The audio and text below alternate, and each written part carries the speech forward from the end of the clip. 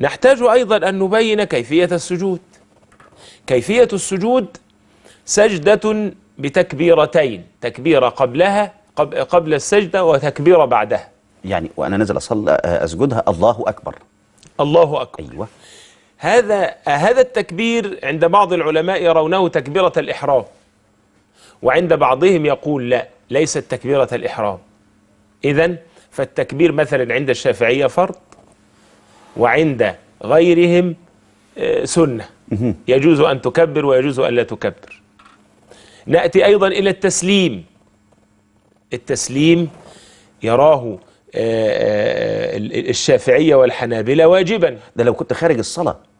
لو كنت خارج خارج الصلاة, الصلاة، آه، داخل, أسلم. الص... داخل الصلاة؟ الصلاة؟ لا يجوز. نعم مش ما ينفعش لا أسلم. يجوز أيوة. التسليم. نعم. آه، خارج الصلاة الشافعية والحنابلة كما قلنا عندهم آه، إذا كنت خارج الصلاة يجب عليك أن تسلم. عند المالكية والحنفية لا سلام في هذه السجدة وإنما يكتفى بالتكبيرتين قبلها وبعدها